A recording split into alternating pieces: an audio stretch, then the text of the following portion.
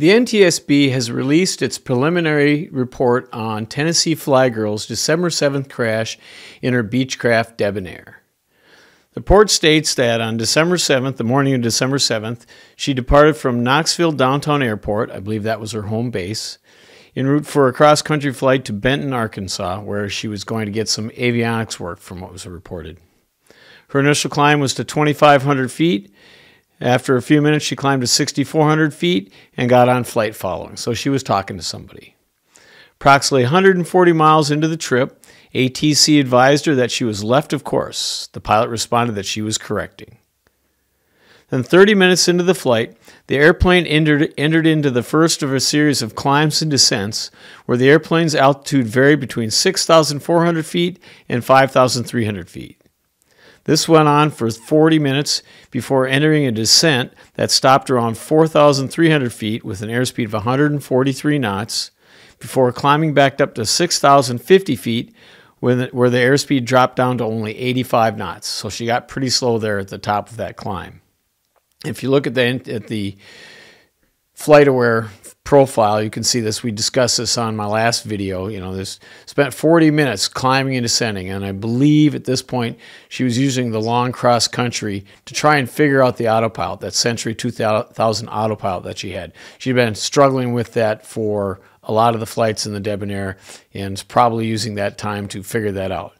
I don't think at that point, and again, this is pure speculation. She was having control issues because this went on for 40 minutes and she was on flight following. So at any point she was having that much trouble actually controlling the airplane, she probably would have contacted AC, ATC. After that uh, initial, that last climb up to 6,050 feet, the plane then descended rapidly before ADSB contact was lost in the vicinity of the crash site. During the last few seconds of the flight, the airplane reached a maximum ground speed of 228 knots and a maximum descent rate of 11,900 feet per minute. Now, that's really fast. 228 knots. Again, you remember this is over the ground in that steep of a dive, and probably about a 50 degree dive, reports have said. If you're doing 228 miles an hour over the ground, your actual airspeed is much higher, probably close to 250 or more. I don't have the math for that, so I'm just guessing at this point. But either way, way over red line for the Debonair, and almost 12,000 feet a minute. That's that's cooking. During the altitude fluctuations, air traffic control twice provided instructions to contact Memphis ATC, but neither of those instructions were acknowledged. And during the final moments of the flight, there was a transmission that was heard with her N number, the words debonair, and a declaration of emergency. So, at the final seconds in that final dive, she was declaring emergency. The report then goes on to describe the crash scene where she impacted a few trees before hitting the ground, leaving a debris field 800 feet long, 300 or 300 feet long, 8 feet wide, and 5 feet deep. A witness that they talked to stated the plane flew overhead at a high rate of speed and that the engine was running when it impacted the ground. They looked at the engine. They couldn't do compression checks on it because the cylinders were all disassembled from the engine, same with the magnetos. But they didn't see any evidence of in flight fire, and marks on the propeller were consistent with the engine running at the time. Remember, there was a witness who reported hearing the engine, that the engine was running. If the plane's doing 228 knots minimum through the air, it's going to be loud enough in itself. So for you to be able to hear the engine over the top of the just the wind noise that the plane is making, the engine was running. It was probably going full power. The flight control systems were all destroyed, so they couldn't be tested, but they were all in the vicinity of the crash site. So the plane hadn't broken up in flight, which is really a testimony to Beech engineering. I mean, I would have, I'm shocked that a plane that's doing probably 250 knots airspeed at 12,000 feet a minute didn't break apart in flight. I mean, that's one of the reasons I really like Beech. They're just solidly built. But everything was intact. They weren't able to test the control cables for functionality, but all the cables had broom straw breaks. That's where they split apart that are consistent with impact related separation, which basically means all the control cables were intact at the point of impact. So, loss of control due to a cable snapping is at this point being ruled out. The elevator trim was measured and correlated to about a five degrees to about five degrees in the nose down direction. So it has a 10 degree nose down limit on the trim tab. So five degrees is about half. Pretty steep nose down deflection at that point.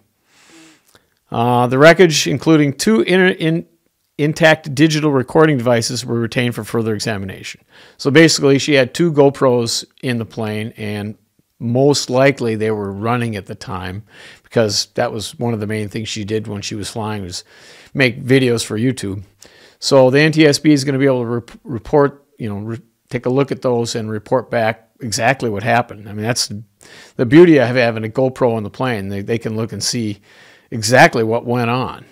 And on a side note, I wonder when airliners are going to do this. I mean, their cockpit voice data recorders are okay. They can hear what hear what happens in the plane, kind of, sorta, and they can look at the engine parameters and the control inputs, but they don't have actual video of the crash. And you know, for a three hundred dollar GoPro, GoPro sticky mounted to the top of the to the back of the bulkhead and show the cockpit, they would be able to tell exactly what happened in every crash. So, of course for them to do that, it would take a $10 million study and a $100,000 camera to do what a $300 GoPro would do, but that's just my two cents.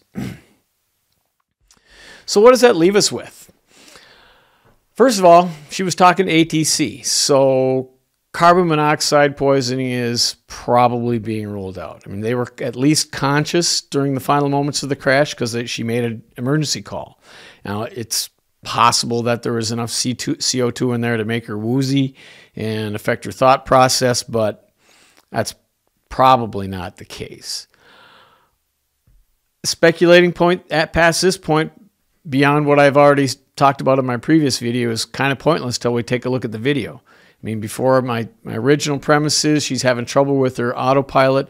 She's using it wrong. She's using the up down button feature incorrectly and might have got into a really out of trim situation, which this does kind of point to at a five degrees nose down trim. But who knows when that nose down trim got in there? I mean, I'm I guess it might have happened. You know, you come over the top of the dives, you're climbing uncontrolled. The plane was out of trim, too far nose back. She reaches down and spins that nose down aggressively to arrest the climb. And when it starts descending, she forgets about the trim and just tries to pull back. And so the entire way, as the airplane's going faster and faster, she's just trying to pull it back by sheer muscle alone. And with that amount of nose down trim in the plane, plus the airspeed building up, so you build up the aerodynamic forces, making it harder and harder to pull out. And the longer you wait, the harder it is. That's a possible explanation. It seems weird that you wouldn't be able to pull out of a dive like that.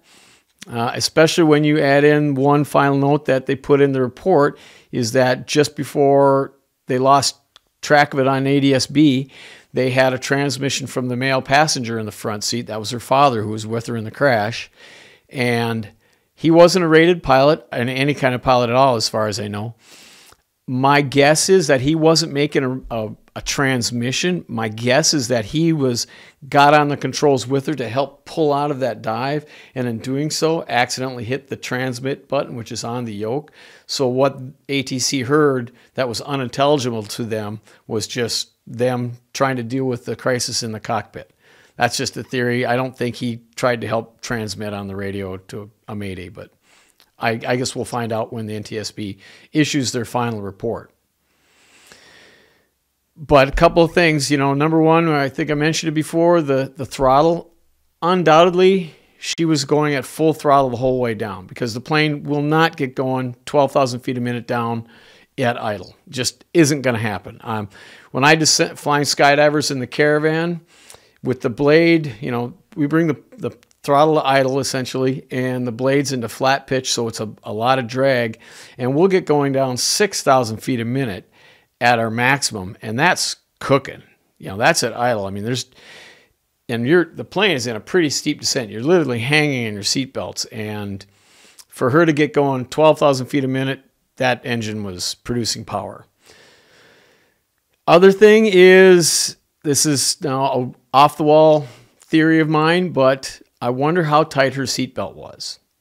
And I mention that because If your seatbelt is really loose and you come over the top of a steep climb and push it over and start your descent, you get a little zero G action going on the top, and then when you start the descent, if your seatbelt's not tight or your seat's not locked and you fall forward into the control column, you can't pull out of a dive. If you're all the way up against the instrument panel and you're up against the yoke, you can't pull out of a dive. And especially when you get into a descent, gravity is fighting against you.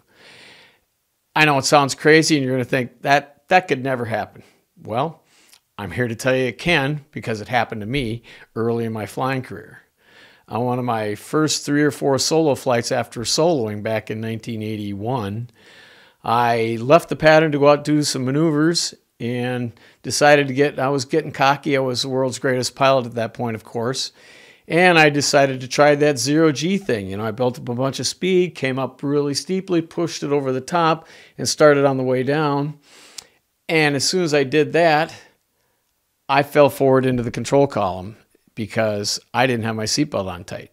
Because again, this was back in 1981, and back then we didn't even wear seatbelts in cars, let alone in an airplane. Oh, I guess I clicked it on just just because you know you're supposed to wear a seatbelt.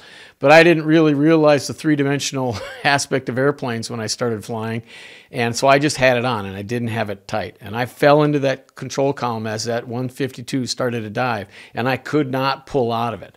I literally had to put one hand up against the instrument panel, push myself back up into my seat, let go of the control column, grab the seatbelt, tighten it down, and then pull out of the dive. And that story is in my book Ferry Pilot if you want to check out the whole thing of exactly what happened because it was uh, it was an eye-opening experience. And let me tell you, I never flew with my seatbelt loose ever again. Anyway, those are my thoughts on that for right now. We're going to find out exactly what happened when the NTSB has time to take a look at the GoPro footage. I'm sure that will take care of everything, unless, of course, her batteries are dead or they had it off, which would be a shame because we'd really like to know what happened. This is a weird one. I still don't get it how someone can go from 6,000 feet all the way to the ground in a dive and not be able to pull out of it. It's I I hope we get to the bottom of this because it's it's strange. Anyway, that's all I've got for now. Update on the Queen Air flight. It's unfortunately not going to happen for a couple of reasons. First of all, uh, when we did the final leak check before putting the cowlings back on, we found out that both engine driven fuel pumps were leaking a little bit. That's something you really don't want to mess with, so we took those off and sending those in for overhaul. So shouldn't take too long, but it's definitely not going to be done in time. And it probably wouldn't have mattered anyway because we're hard IFR here in Menomonie today, and it looks like we're going to have rain and snow in the forecast for the next few days, all the way through Christmas. So that wouldn't have been great flights for post maintenance test flights or uh, Christmas flight with the family. So unfortunately, I'm driving for Christmas. Anyway, that's it is what it is. That's aviation. Got time to spare, go by air. All right, well, you guys have a happy holidays and a Merry Christmas, and I'll see you next time. And remember, keep your speed up.